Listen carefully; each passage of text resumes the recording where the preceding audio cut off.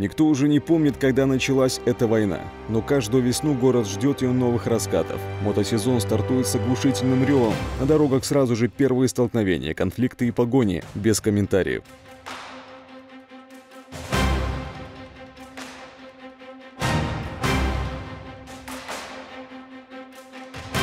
В Бобруйске тоже немало лихачей, и, как показывает практика, жизнь отдельных людей ничему не учит. За 2020 на дорогах города произошло 6 мотоаварий, 5 человек пострадали, один погиб. Отныне любители подать газку будет отслеживать милицейский байкер. Госавтоинспекторы пересаживаются на мотоциклы.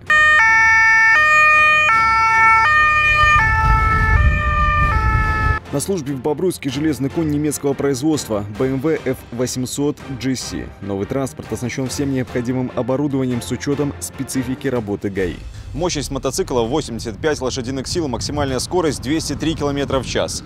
До сотни байк разгоняется почти за 4 секунды, от погони уйти будет непросто.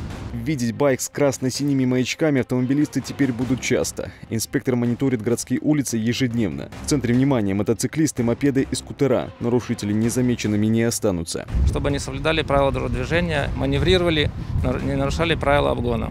Мы становимся более маневреннее, реагирование на сообщения, выбытие на какие-либо дорожно-транспортные происшествия, а также следование к какому-либо месту. Мотоцикл – транспорт мощный и скоростной, поэтому водитель обязан безукоризненно соблюдать ПДД. Управлять байком необходимо в застегнутом шлеме, двигаться с постоянно включенным ближним светом фар. Выполнять опасные трюки тоже не стоит, они чреваты серьезными травмами, да и штрафы никто не отменял. За управление мототранспортом либо мотоциклом э, на одном колесе, когда лицо, управляющее мототранспортом, не держится за руль, предусмотрено административное административная ответственность в размере от 5 до 10 базовых величин с лишением права управления сроком до 6 месяцев, либо без лишения.